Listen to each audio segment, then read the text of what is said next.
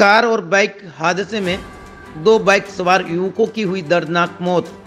उदयपुर के खेरवाड़ा थाना क्षेत्र में हुआ दर्दनाक हादसा। हादसे के बाद मोटरसाइकिल में लगी आग। मिली जानकारी के अनुसार गुरुवार रात 8 बजे दो बाइक सवार युवक मोथली से खेरवाड़े की ओर आ रहे थे, तभी खेरवाड़ा की ओर से सामने से आ रही कार से बाइक जा भिड़ी। हादसे में बाइक सवार एनिल गमेती और आशीष खराड़े की मौके पर ही दर्दनाक मौत हो गई। जानकारी मिलने के बाद head constable Tarachand, Rakesh Kumar, constable Anuj में जाप्ता मौके पर पहुँचे।